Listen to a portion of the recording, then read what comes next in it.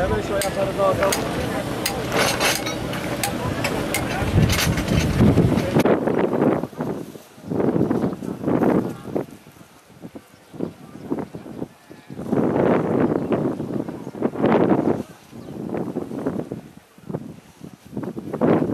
Tutakacağız sonra kaldıralım.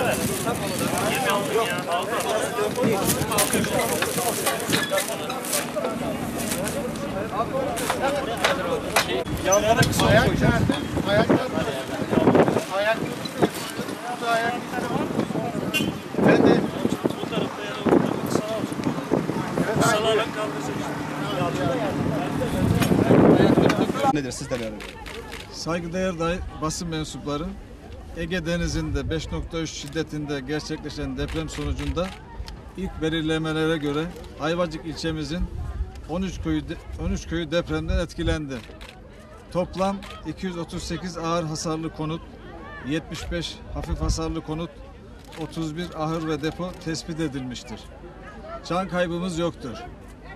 8 yaralı vatandaşımızın 5'i taburcu edilmiştir. 3 vatandaşımızın tedavisi hastanelerimizde devam ediyor. AFAD Başkanımız ve Kızılay Başkanımız bütün ekipleriyle ilimize gelmiştir. Çadır kurma ve dağıtma çalışması devam ediyor. Konteynerler yarın sabah burada olacak. Devletimizin bütün kurum ve kuruluşlarıyla vatandaşlarımızın yanında olduğunu bilmenizi isterim. Sayın Valim e, bilgileri verdi. Ben sadece e, iyileştirme çalışmalarıyla alakalı e, birkaç bilgi vermek istiyorum. E, ilk saatten beri e, arkadaşlarımızın hepsi buraya geldiler. Çevre illerden de e, arama kurtarma ekiplerimizi buraya sevk ettik. E, ihtiyaç kadar e, çadır geldi, gelmeye devam ediyor. Yine ihtiyaç kadar konteynerimiz hem duş konteynerları hem tuvalet konteynerları gelecek. Koordinasyon tırımızı buraya konuşlandırdık. Ee, arkadaşlarımız koordinasyon tırımızla ol- burayı e, yönetecekler. Bir de vatandaşlarımıza bir uyarım var. Ee, kesinlikle e, bizden e, bilgi almadıkları sürece hasarlı, az hasarlı evlerine asla girmesinler.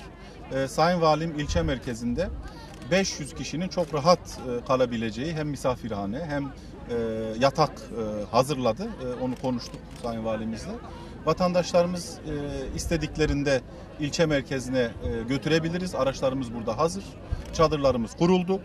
Her türlü imkan var burada ama artçılarımız devam ediyor. Malumunuz sabahki 5.3 depremden sonra yine e, 13.58'de e, 5.3 şiddetinde yine bir deprem oldu. Artçılar devam ediyor. E, Ev e, stoku, e, yapı stoğumuz kötü. Çünkü geleneksel taşlarla, kerpiçle evler yapılmış. Çok e, az bir depremde bile zarar görebilir onlar. E, Onun için biz uyarıyı e, yapana kadar kesinlikle evlerine girmesinler. Zaten arkadaşlarımızın hepsi burada. Yetkililerdeki uyarıyı beklesinler. Tekrar büyük geçmiş olsun diyorum. Kızılay Genel Başkanımız Kerem Bey de burada. O da İAŞ ile ilgili ve diğer ihtiyaçlarla ilgili tahmin ediyorum bilgi sunacak. Ee, geçmiş olsun diyorum ben de. Ee, Kızılay'da olayın olduğu andan itibaren bölgeden, Ege Afet Bölgesi'nden ve Ankara'dan ekiplerini sahaya intikal ettirdi. E, haberleşme aracımız, öncü araçlarımız, 3 tane mobil ikram aracımız e, şu an sahada vatandaşımızın e, sıcak yemek ihtiyaçlarını gideriyor hem de çalışanlarımızın ihtiyaçlarını gideriyor. E, bu gece itibariyle büyük mobil e, mutfağımız da sahaya intikal etmiş olacak. E, AFAD'ın e, kuracağı e, burada e, konteyner kente e, ve köylerimizdeki e, kuracağımız çadır merkezlerine e, buralardan düzenli 3 öğün e, yemek e, sevk edeceğiz. E, özellikle e, kış şartları ağır olduğu için e, hızlı bir şekilde barınma, e, ısınma, giysi ve beslenme ihtiyaçları devletimiz tarafından giderildi. Vatandaşlarımız açısından şu an e, sıkıntılı bir durum yok ama AFAD Başkanımızın ifade ettiği gibi artçılardan dolayı korunma e, maksadıyla e, ihtiyaçtan daha fazla barınma kapasitesi burada oluşturuyoruz. E, Kızılay olarak biz de e, gıda noktasında Türkiye Afet Müdahale Planı'ndaki vazifemiz olan gıda noktasında desteğimizi sürdüreceğiz. Efendim şimdi bugün çadırlar